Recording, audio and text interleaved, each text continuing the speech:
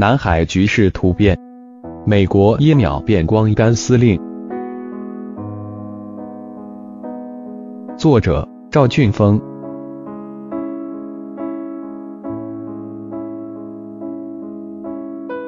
特朗普反复强调美国优先，美国的一系列举动也反映了特朗普正在积极推进这一政策。然而，美国在奉行孤立主义的同时，却不忘遏制中国发展，特别是在南海问题上，美国还不死心，硬要纠集盟友插一杠子。然而，令美国人失望的是，响应者寥寥，反对者不少。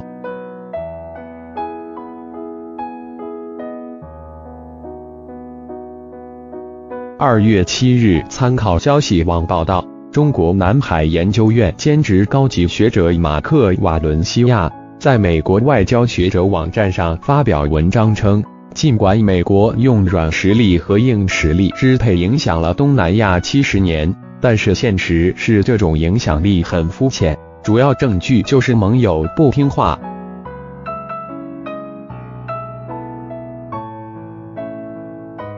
这是难得的比较清醒的声音。其实不是美国的盟友不听话，而是美国的倒行逆施不得人心，失道寡助，甚至无助是必然的逻辑。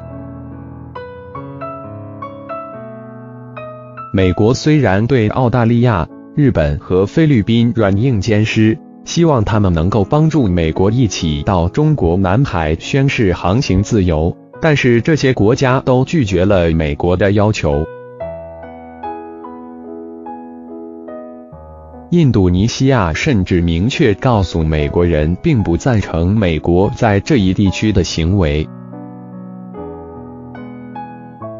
马来西亚也与美国的关系处于冷淡状态，就是一贯追随美国的新加坡，也在小心翼翼的在中美之间维持住平衡，不愿意替美国出头。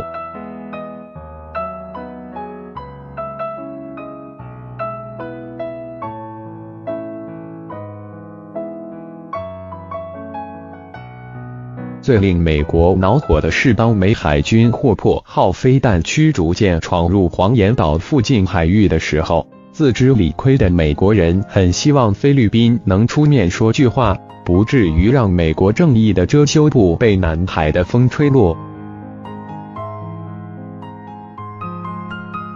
然而，菲律宾很明智的没上美国的套。如果顺了美国的意，菲律宾的长期努力的成果就白费了，又会被美国人当枪使。当菲律宾总统发言人哈里罗克说这是美国的问题，我们奉行独立的外交政策时候，裸奔的地不光是霍珀号飞弹驱逐舰，还有华盛顿的政客。菲律宾为了防止再次被美国粘上，还对一些持有偏见的专家进行了批评。菲律宾外长阿兰卡耶塔诺抨击一些专家只看到了中国船只出现在南海，却对美国军舰出现在这一海域视而不见，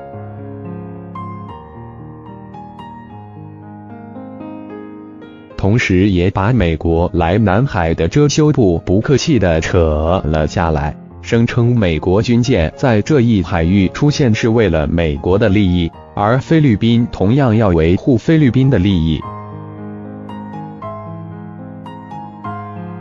这已经很明确的告诉美国人了，在南海问题上，菲律宾的利益和美国并不一致。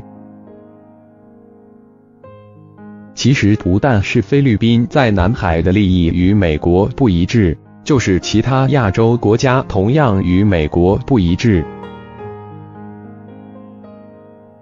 二月七日，参考消息网报道，英国皇家国际问题研究所副研究员、澳大利亚麦考里大学教授纪北茨在美国外交学者网站上发表美国盟友对美国对抗中国的新战略不买账的文章。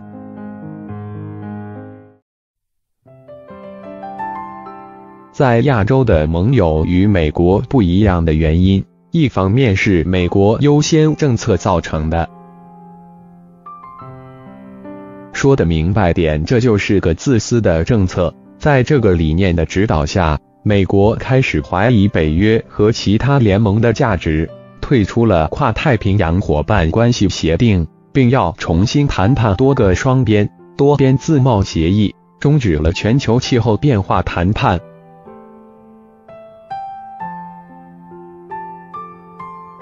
而这些都损害了美国盟友的利益。一边打压人家，还要人家帮忙。美国想得出，但是做不到。还有一个重要原因是，美国的零和思维并不能说服其他国家。当今世界发展是主旋律，而美国却在军事上咄咄逼人。美国的很多盟友都希望与中国开展合作，促进经济发展。特别是美国在亚洲的重要盟友澳大利亚，更是不愿意替美国冲在遏制中国的前面。